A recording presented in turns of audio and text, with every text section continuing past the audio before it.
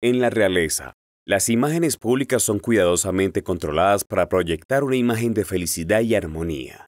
Sin embargo, detrás de la fachada de perfección, a menudo se esconden realidades mucho más complejas y dolorosas. Una reciente foto de la familia del príncipe William ha causado conmoción al ser descubierta como una elaborada farsa, editada por Photoshop para hacer que parezcan una familia feliz y unida. Pero, ¿qué hay detrás de esta imagen manipulada? ¿Por qué se sintieron obligados a crear esta ilusión? En este video exploraremos la verdad detrás de la foto que ha conmocionado a muchos, revelando una historia de infelicidad y decepción que contradice la imagen pública de la familia real.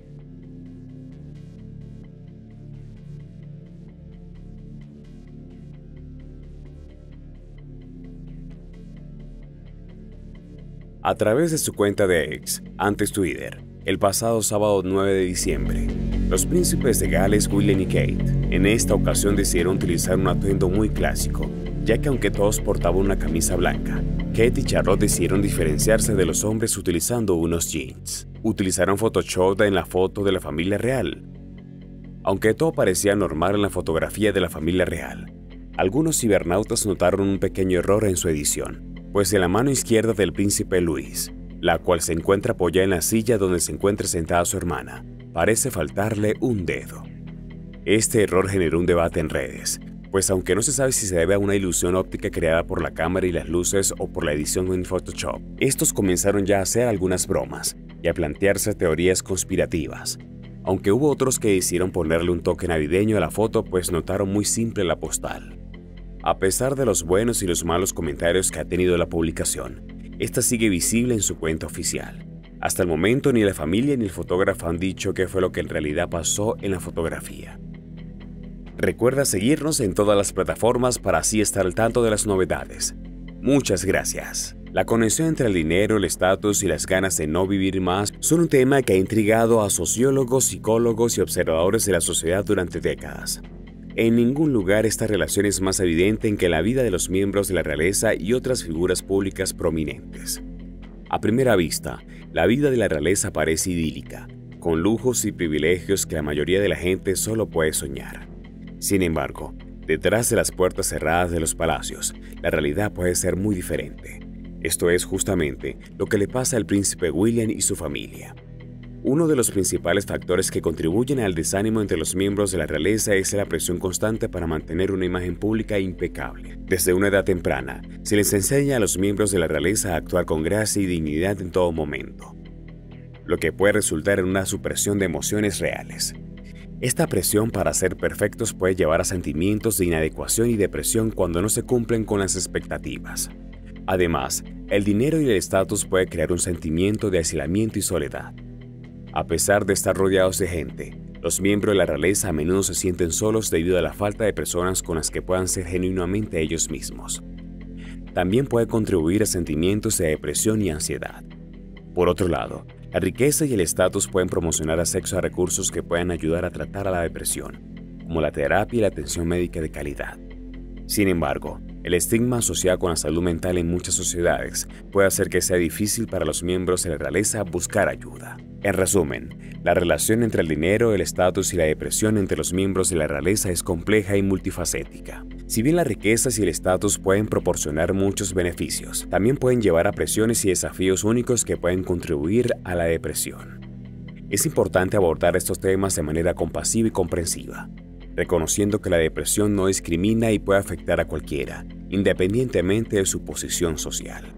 ¿Por qué los Windsor cambiaron su apellido? Mientras tanto, hay una pregunta que ha surgido en medio de las noticias no solo de la partida de la reina Isabel II y posterior enfermedad del rey Carlos III. La casa real y el apellido Windsor fueron escogidos por el castillo que ha servido de residencia de los monarcas británicos desde hace más de mil años, como señalan varios especialistas, entre ellos Richard Nelson, del diario británico The Guardian.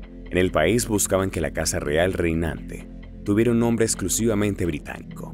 Sin embargo, el cambio no ocurría, hasta que Jorge V llegó al trono en 1910 y cuatro años después vio el estallido de la Primera Batalla Mundial. La primera contienda mundial enfrentó a Reino Unido y Alemania, entre otras naciones, en un conflicto que se destacó por su horror y su alto costo humano. En Reino Unido el sentimiento anti-alemán comenzó a crecer y la familia real tomó nota. Entonces ocurrió un hecho que haría tomar cartas en el asunto del nombre. El 7 de julio de 1917, un bombardeo a varios edificios en el este de Londres causó el deceso de 55 personas, quienes pensaron que se trataba de un ejercicio militar británico y no buscaron resguardo a tiempo. De acuerdo a los testimonios históricos, que fue ejecutado por aviones alemanes conocidos como Goda, aumentó aún más el sentimiento antigermánico. Así, decenas de personas salieron a las calles a protestar. En una reunión del Consejo Privado del 17 de julio de 1917, Jorge V declaró que todos los descendientes por línea masculina de la reina Victoria, que sean súbditos de estos reinos, excepto las descendientes femeninas que se casen o se hayan casado, llevará el nombre de Windsor, señala la página oficial de la familia real. En ese momento se fundó la Casa de Windsor, y fue a partir de ese año que los monarcas británicos comenzaron a utilizar el nombre de su casa como su apellido. Antes de 1917, los monarcas y sus descendientes eran conocidos por la dinastía o del país del que provenían, pero no tenían precisamente un apellido como tal. Y a pesar de esto habría otro cambio, Mountbatten Windsor. Tras el deceso de Jorge V, ascendió al trono Eduardo VIII, quien en menos de un año abdicó a favor de su hermano menor, Jorge VI el nuevo rey mantuvo el apellido. Sin embargo, aquí surgió otro inconveniente. Donde Isabel todavía era princesa y esperaba su primer hijo, el futuro Carlos III, se anticipaba que éste recibiría el apellido Mumbaten, el príncipe Felipe. Pero algunas autoridades británicas se opusieron también por los orígenes germánicos del apellido. Isabel II y Felipe de Edimburgo se casaron en 1947. Se dice que no fue fácil para Felipe, el entonces príncipe consorte, quien falleció en 2021 a los 99 años, señaló en ese momento que él era el único hombre en el país que no podía darle el apellido a sus hijos. Sin embargo, en 1960, con Isabel ya en el trono, la Casa Real emitió una disposición respecto al apellido de los descendientes de la reina. Cuando fuera necesario el uso de un apellido, como en su registro civil o un documento legal, llevarían el apellido Mountbatten-Windsor, el apellido Mountbatten-Windsor apareció por primera vez en un documento oficial el 14 de noviembre de 1973, en el registro de matrimonio de la abadía Westminster para el matrimonio de la princesa Ana, hija de Isabel II y el capitán Mark Phillips. Conclusión. Cuéntanos en los comentarios, ¿qué opinas de la infelicidad de la realeza y los secretos de su familia? Recuerda seguirnos y reaccionar al video para ayudarnos a crecer. Esto es Grandes Semblanzas, tu canal de confianza. Hoy nos despedimos, pero nos veremos mañana con un nuevo video. Recuerda seguirnos para más contenido.